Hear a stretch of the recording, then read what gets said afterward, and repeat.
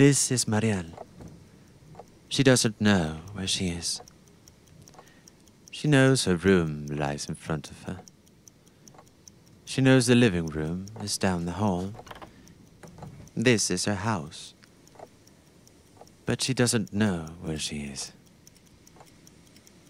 She's trying to remember something important, something she seems to have forgotten.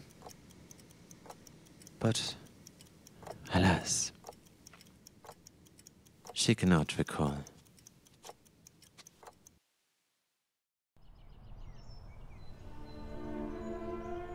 This was Alice, Marianne's mother. Before having Marianne, Alice was determined not to have children. She felt, being a student of philosophy, that children would only drag her down. Marianne was lucky to be born at all.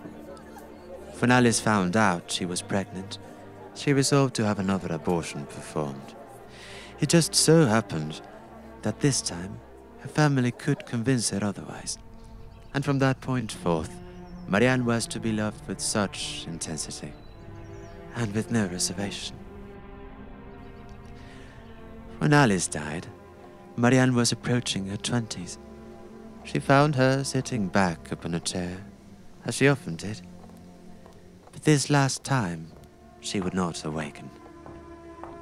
This house, Alice left her daughter, also enough money in the bank. Thereafter, the world demanded her full attention, and in time, her recollection of things grew faint and indefinite until she made a pause. What moves me so? she wondered. Something abrupt came sharp and simple to her. She could not see into her past, because without noticing, she managed to rid herself of all light. But there is a particular memory that's forcing its way back into Marianne, so she felt rather inclined to stand still for a moment.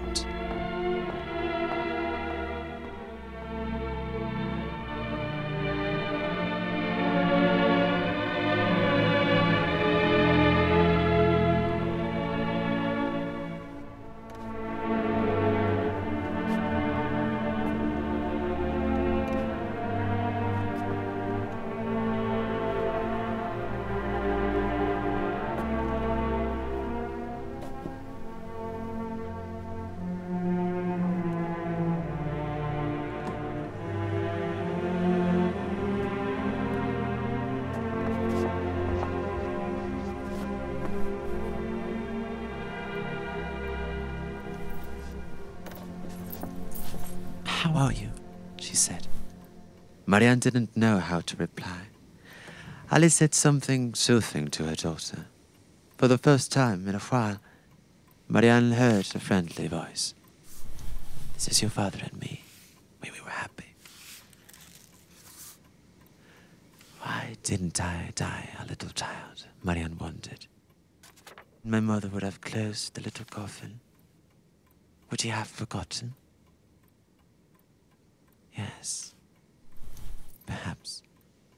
Marianne felt at loss increasingly, and her throat tightened a little.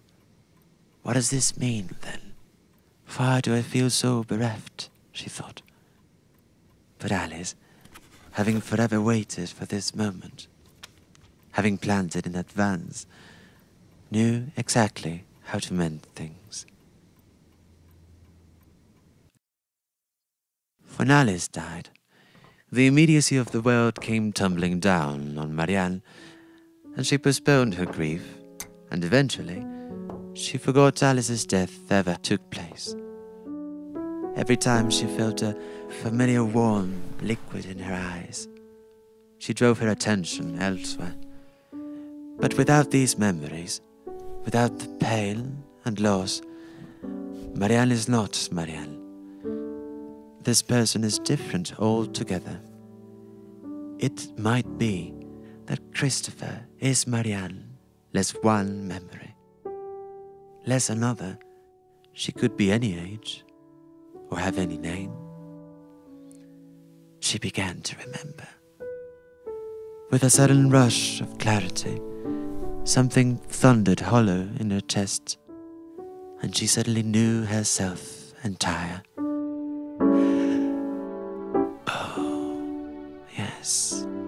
Christopher thought, I have had my vision.